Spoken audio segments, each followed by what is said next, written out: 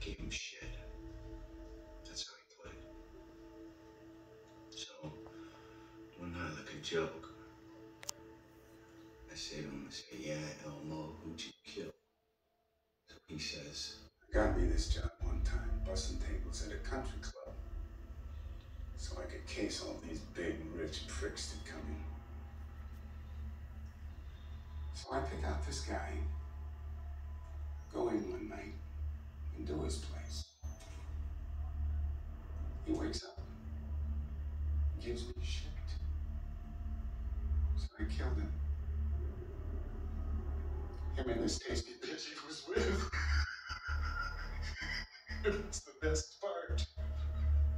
She's fucking this Trixie, this golf troll. She married some other guy.